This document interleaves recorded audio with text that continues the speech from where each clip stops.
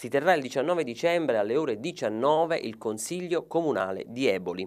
Otto i punti all'ordine del giorno, la maggior parte dedicata ai debiti fuori bilancio. A chiudere il cerchio la variazione di bilancio approvata dalla Giunta il 30 novembre scorso.